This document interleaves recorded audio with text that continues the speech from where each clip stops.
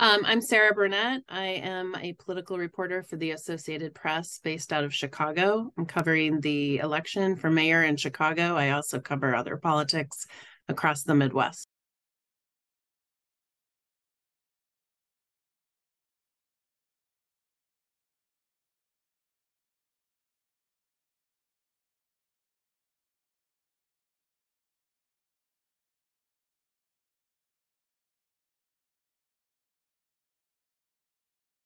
On Tuesday, Mayor Lori Lightfoot lost her bid for a second term. She did not advance to a runoff election, which will be held in April between the two top vote getters. She was the first incumbent in Chicago to not win reelection in 40 years.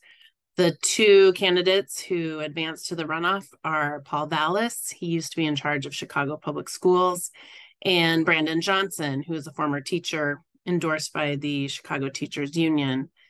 Um, they will meet on April 4th to decide who will be Chicago's next mayor.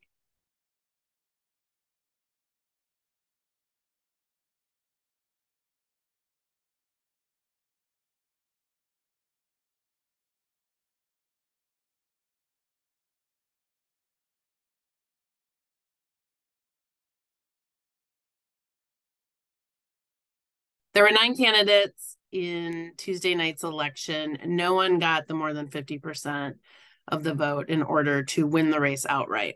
So that means we move to an April 4th runoff between the top two vote getters, which were Mr. Vallas and Mr. Johnson. It's very unusual for incumbent mayors to not at least advance through the first round of voting. She stands alone in a few regards. Um, Chicago does not have term limits. So a lot of major cities have term limits for mayor. They're limited to two terms in office. Um, we've seen in Chicago mayors who have held held the office for many, many, many years. Um, she tried and was unsuccessful. First Chicago mayor in 40 years to not win a second term who sought one. But it's also one of the biggest mayoral races to come after the end of the pandemic. And the dynamics in Chicago have changed completely since four years ago. Four years ago, the mayor's race centered around corruption at City Hall. That was the main issue on voters' minds. People really wanted an outsider to come in, clean up how business was done in the city. And Lightfoot was that person. She had never held political office before. She really ran as someone who was going to change life at City Hall. Then the pandemic hit. There were protests over racial injustice.